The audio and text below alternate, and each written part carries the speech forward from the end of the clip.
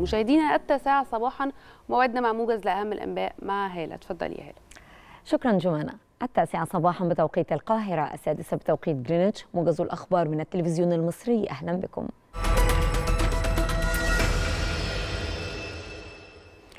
يعقد اليوم اجتماعا عاجلا لمجلس جامعة الدول العربية على مستوى المندوبين الدائمين في دورة غير عادية برئاسة مصر لبحث مواجهة العدوان الإسرائيلي المستمر والمتصاعد على الشعب الفلسطيني بما في ذلك العدوان الحالي على مدينة جنين ومخيمها.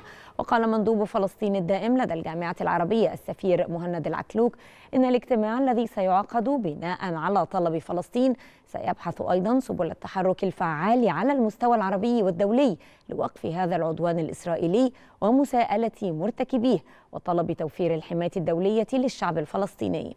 من جانبها حذرت الأمانة العامة لجامعة الدول العربية من تبعات هذا العدوان وتداعياته داعية المجتمع الدولي وخاصة مجلس الأمن والدول الأعضاء لتحمل مسؤولياتها في الوقف الفوري للعدوان الإسرائيلي وتوفير الحماية للشعب الفلسطيني.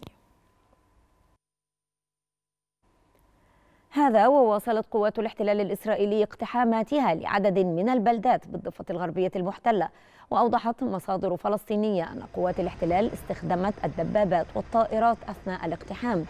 يأتي هذا في الوقت الذي أعلن فيه مكتب الرئيس الفلسطيني محمود عباس في بيان أن الرئيس قرر وقف جميع الاتصالات واللقاءات مع الجانب الإسرائيلي والاستمرار في وقف التنسيق الأمني. أعلنت نقابات طبية فرنسية أن أكثر من 50% من أطباء المستشفيات في فرنسا أضربوا عن العمل. وطالبت النقابات الفرنسية الرئيس إيمانويل ماكرون بالاجتماع بها للبحث في مطلب الأطباء بزيادة أجورهم. ويطالب الأطباء في فرنسا بزيادة الرواتب وتحسين ظروف العمل في المستشفيات خاصة مع ارتفاع تكاليف المعيشة. طالب الرئيس الأوكراني فلاديمير زيلينسكي نظيره الأمريكي جو بايدن بأن يدعو أوكرانيا إلى الانضمام لحلف شمال الأطلنطي الناتو الآن حتى لو لم تحصل كييف على العضوية إلا بعد الحرب. وأضاف زيلينسكي أن بايدن هو صانع القرار بشأن ما إذا كانت أوكرانيا ستنضم إلى الناتو أم لا.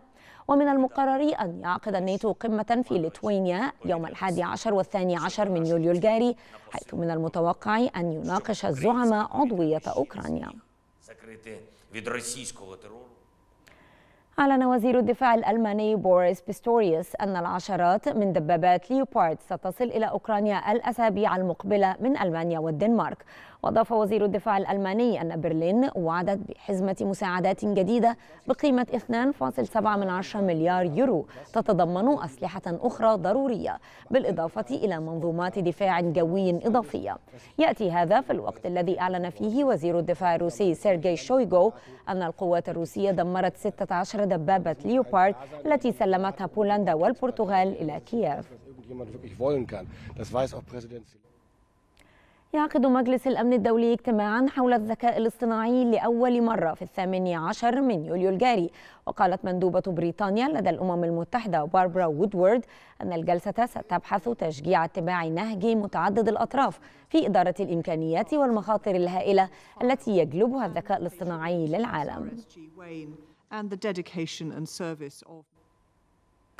يواجه المنتخب الوطني اليوم نظيره الغيني بملعب طنجة بالمغرب في الدور نصف النهائي من بطولة كأس الأمم الأفريقية تحت 23 عاما المؤهلة لأولمبياد باريس 2024 وكان المنتخب الأولمبي قد تأهل إلى الدور قبل النهائي بعدما تصدر جدول ترتيب المجموعة الثانية برصيد سبع نقاط. انتهى موجز التاسعة وعودة لاستكمال باقي فقرات برنامج صباح الخير يا مصر بعد الفاصل.